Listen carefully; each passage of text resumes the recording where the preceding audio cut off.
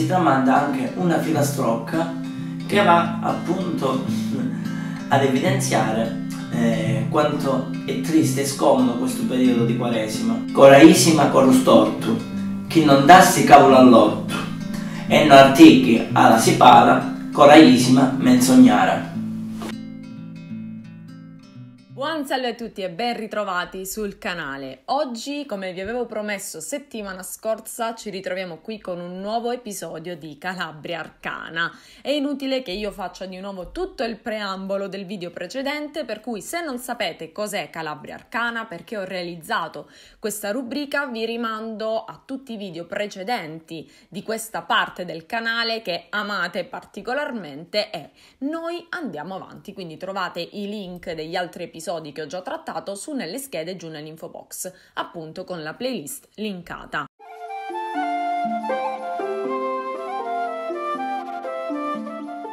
Avrete visto, dicevo nel video precedente, oggi andiamo a trattare un argomento che è eh, praticamente il prosieguo del video della settimana scorsa, quindi il video sul funerale di Re Carnevale, la morte di Re Carnevale, ecco quello si collega all'argomento di oggi e come avrete visto dalle immagini in anteprima, oggi parleremo finalmente di un rito che prende in considerazione una figura femminile, sì, ma anche un fantoccio, una bambola. So che tanti di voi sono appassionati di bambole, che amano eh, l'aspetto anche un po' misterioso di questi fantocci rituali e oggi siamo qui per scoprire cosa significa eh, possedere, continuare una tradizione legata alle bambole quaresima e perché sono nate, qual è il senso profondo di questo fantoccio rituale. Sono felicissima di dirvi che oggi sarà presente in questo video un ospite.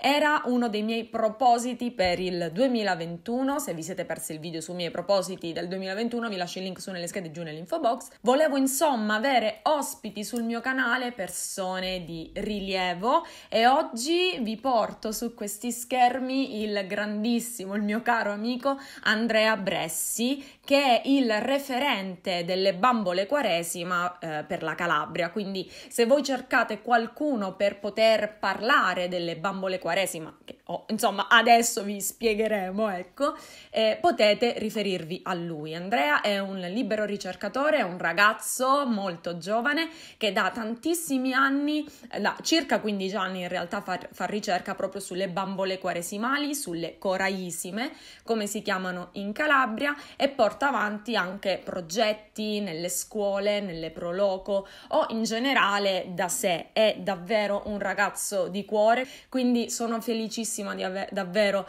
di averlo su questi schermi, soprattutto lui fa parte di una rete di ricercatori, di antropologi che studiano proprio le bambole quaresima, specialmente nel sud Italia, ma se avete eh, contezza di qualche altro esempio di bambole quaresimali anche in altre regioni dell'Italia, ma anche fuori dall'Italia, perché comunque è un rito che si espande e che non si trova soltanto nel profondo sud, potete tranquillamente scrivere a lui perché è un ragazzo davvero alla mano e risponde a tutti quanti, è fantastico, quindi sono felicissima di averlo qui sui miei canali, inoltre lui è anche etnomusicologo, studia canti e musica della tradizione popolare calabrese, insomma ne sa una più del diavolo, non posso essere più felice di così di introdurvi appunto all'argomento. Devo iniziare prima di partire proprio con il fulcro del discorso dicendovi che questo per me è stato un progetto pratico, quindi questo video non è frutto frutto esclusivamente di ricerca sulle fonti, ma anche ricerca sul campo che avevo già fatto diversi anni fa per la mia tesi, grazie alla quale avevo già collaborato con Andrea, quindi sono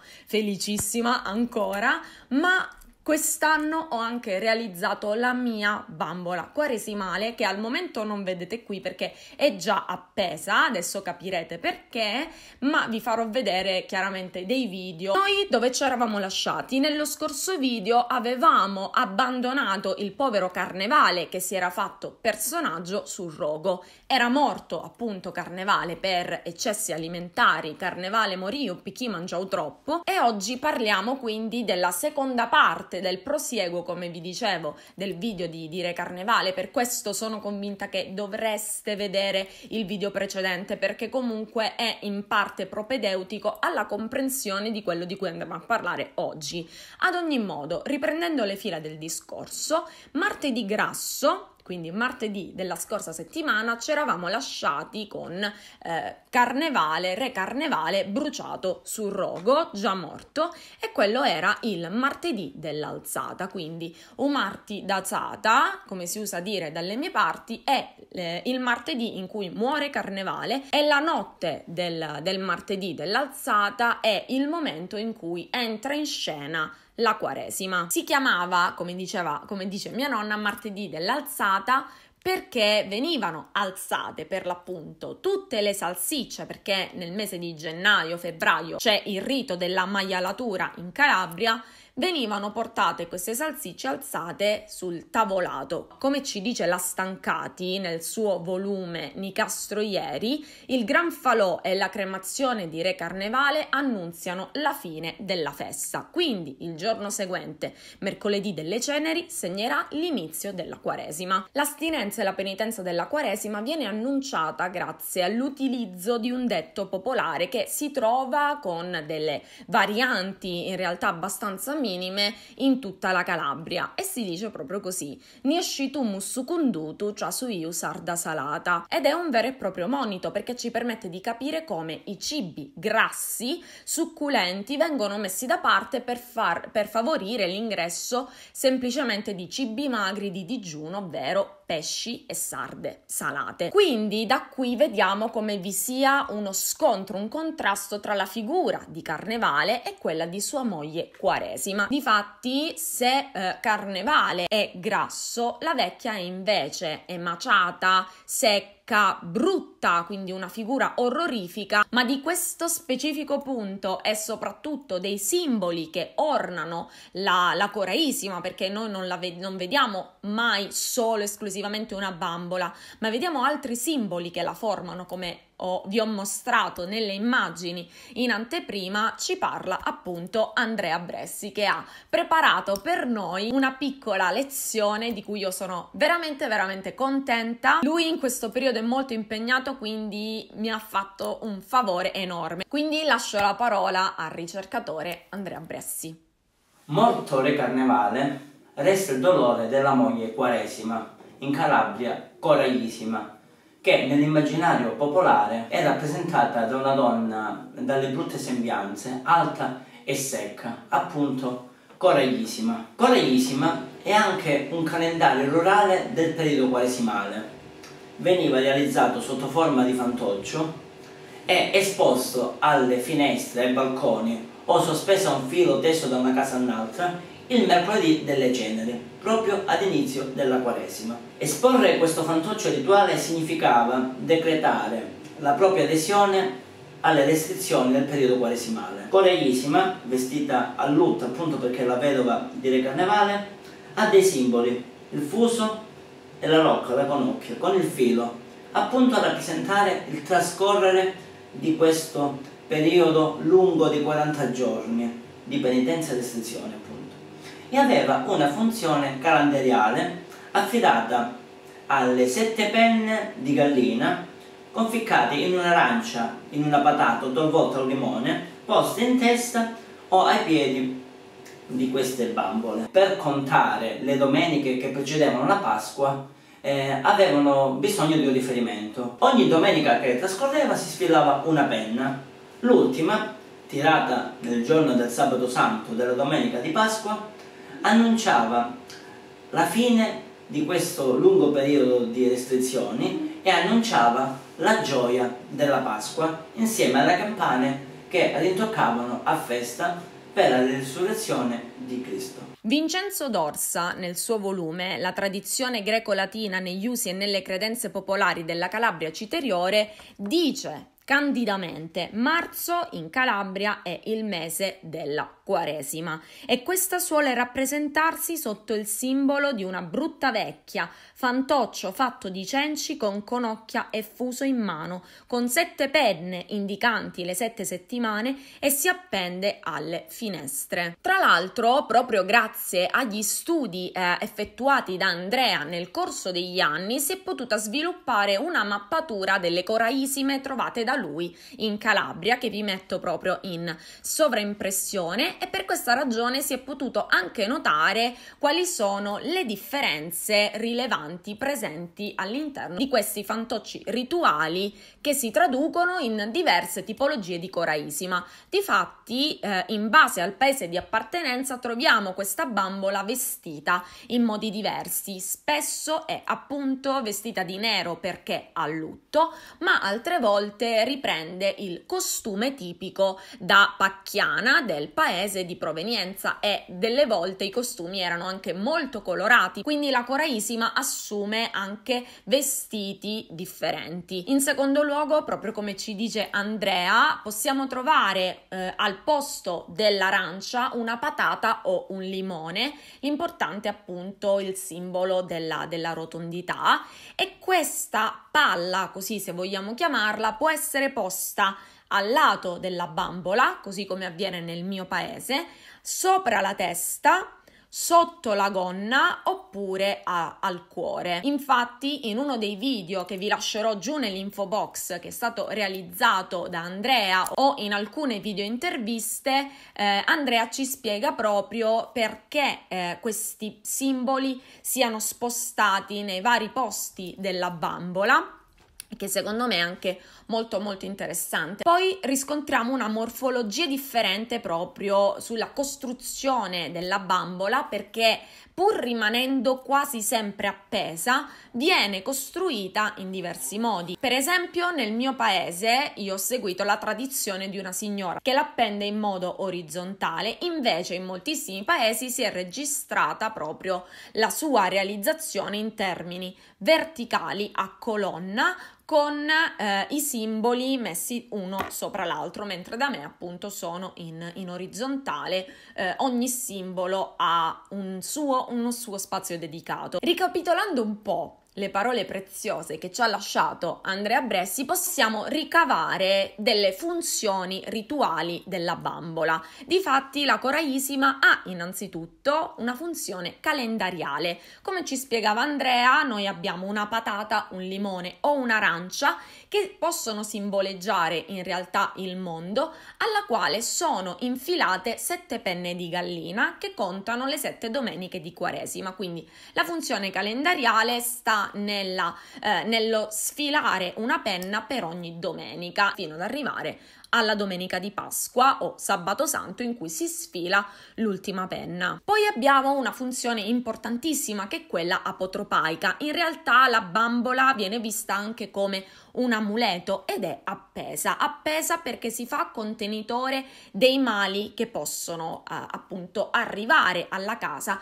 di chi eh, espone questa bambola. La funzione magica della bambola consiste nel divenire un contenitore del male che può insidiarsi tra le mura domestiche durante il periodo di purificazione dello spirito e del corpo, proprio i, i 40 giorni della Quaresima. Inoltre la funzione apotropaica viene fuori non solo dall'esposizione esposizione al di fuori della casa della coraisima, anche se qualcuno la fa in privato all'interno della propria abitazione, ma anche nella sua distruzione finale. Difatti, ne parliamo dopo, spesso o almeno in antichità la bambola così come il fantoccio di Re Carnevale veniva distrutto, doveva essere distrutto in molteplici modi. Inoltre, un ultimo punto, un'ultima funzione che può avere la bambola è quella appunto punitiva è di divenire monito per la comunità.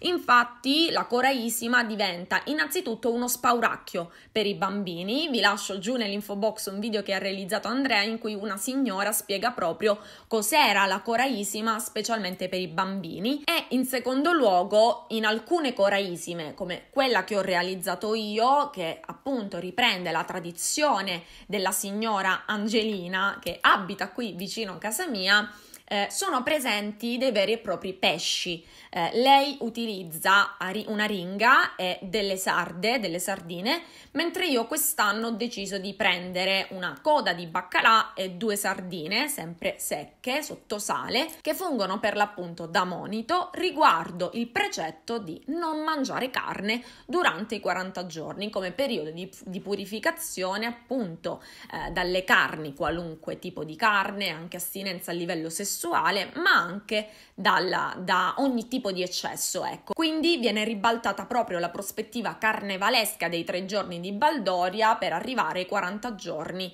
di, eh, di purificazione della Quaresima. Adesso passiamo alla fine della Coraisima. Difatti, lei, questa bambola, per tutti i 40 giorni resterà appesa alle intemperie, al freddo, al gelo, al sole, finché non si arriva alla Pasqua, ultimo giorno in cui la Coraisima vive la sua vita da appesa per venire, come vi dicevo prima, bruciata spesse volte all'interno di un camino o anche um, appunto con un piccolo falò simile a quello eh, realizzato per il funerale di Re Carnevale, oppure come ci dice ancora Filomena Stancati nel suo volume Nicastroieri, ai bambini la coraisima doveva certamente sembrare una figura vivente, ma anche temibile in quanto dettava leggi ed imponeva una certa condotta ai ragazzini monelli o a quelli che si facevano venire l'acquolina in bocca dinanzi ai salsicciotti che pendevano pendevano dalle canne al soffitto della cucina.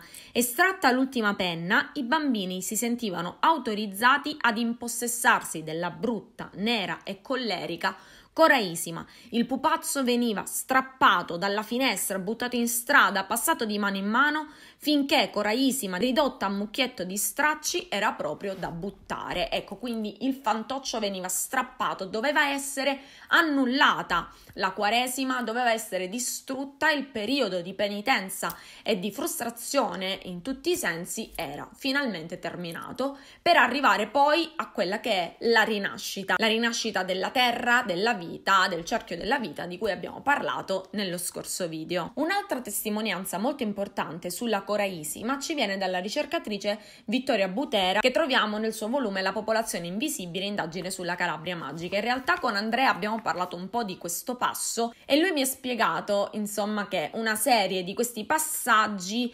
sono eh, diciamo dei rimaneggiamenti di altre opere eh, che hanno preceduto questo testo. Ma io vi leggo lo stesso delle parti che secondo me sono rilevanti e utili al nostro, al nostro video. Innanzitutto Butera inserisce la coraisima all'interno del capitolo sulle vecchie. Quindi già qui eh, andiamo a comprendere come la figura della quaresima di coraisima si rifà al, eh, ad un universo sicuramente pagano che riguarda proprio la figura della vecchia di cui abbiamo parlato nello scorso video relativo al calendario arcaico della seminagione. Quindi, tra le figure delle vecchie deteneva un posto rilevante Coraiissima, detta anche Apupa. Gli albanesi di Calabria la chiamano Crash Mesh. Qui da, ci sarebbe da fare un, un bel excursus, ma secondo me se scrivete da Andrea vi darà lui tutte le coordinate identificata con la Quaresima che pone fine al Carnevale, unico spezzone di tempo pagano superstite all'interno della temporalità circolare e liturgica del cattolicesimo, era percepita in modo ambivalente. In quanto simbolo di digiuno, astinenza, penitenze, costringeva alla privazione e, mortificando il corpo, favoriva la salvezza dell'anima. La gente la rappresentava con piccoli fantocci che appendevano a una corda legata tra due finestre o balconi contrapposti contrapposti nei vicoli. La doppiezza semantica di questa figura era espressa dal suo corpo composito, di aspetto umano nella parte superiore a guisa di una vecchia ammantata di nero e un mix tra vegetale e animale nella parte inferiore, costituita da una patata nei paesi di montagna, da un'arancia nei paesi della piana e della marina e io aggiungo da un limone, su cui venivano infilate sette penne di gallina. Completavano l'abbigliamento il fuso e la conocchia, strumenti tipici delle antiche parche collegate al destino. Questo è un, un tipo di riferimento per me importantissimo perché noi vediamo come, eh, come ci diceva anche Andrea, eh, la coraisima con fuso e conocchia, simbolo del tempo e del destino. E tra l'altro in moltissimi paesi dell'Abruzzo, forse, ci sono dei riti in cui diverse persone si mascherano da vecchie con forbice, con il fuso, insomma, per rappresentare le tre parche. Il frutto di forma rotonda era metafora del mondo sottoposto alla penitenza quaresimale. Le penne erano finalizzate a riflettere sulla dinamica del tempo. Togliendone una ogni domenica di quaresima, si faceva il calcolo dei giorni che dal tempo profano di carnevale correvano verso la sacralità della Pasqua, giorno in cui si strappava l'ultima penna.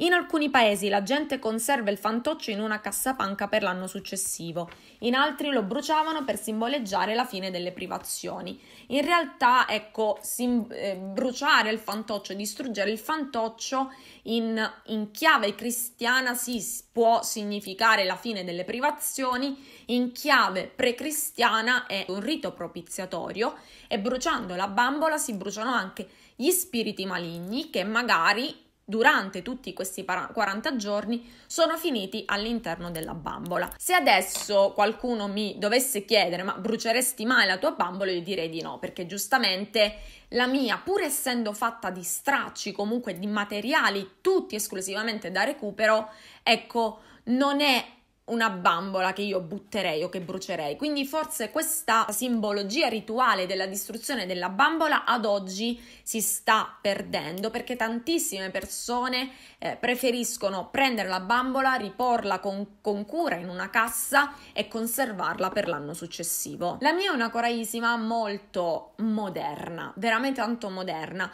Dovrebbe essere brutta, dovrebbe essere creepy, passatemi il termine perché deve indicare, deve dare spazio alla simbologia della Quaresima. In questo caso io ho deciso di adornarla sia di bocca eh, bella, di una bocca bella, ma anche di oro sul, sul corpo con dei ricami perché volevo fosse così, ma in realtà è uscita lei in questo modo. Io mi sono semplicemente fatta guidare dalle mie mani mentre realizzavo questo fantoccio ed è stata un'esperienza, credetemi, bellissima.